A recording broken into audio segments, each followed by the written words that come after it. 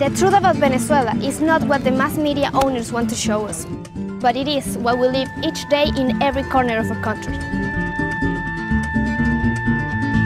The truth about Venezuela is that over 40 years of indolent governments, a third of the population live in poverty and a big part of it in misery. Most of the people were literally starving to death, while a privileged minority ignored by choice what was going on. The truth is that they've always wanted to manipulate the truth. That food that's supposedly scarce today, it was always scarce, but for the poor people.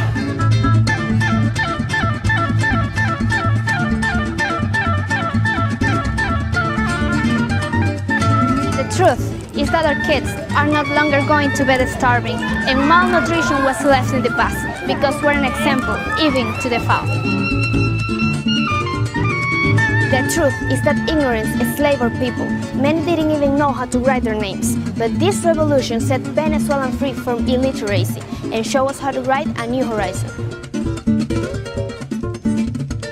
The truth is that hell was a luxury that only rich people could afford but now it reaches everywhere and everyone and for free.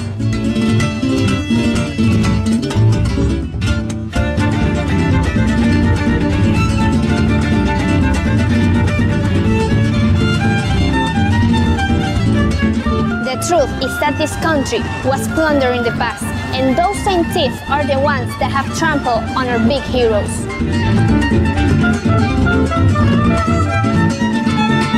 Truth is that the lies and hypocrisy of those frustrated politicians from the past has no longer space on Venezuelans' heart.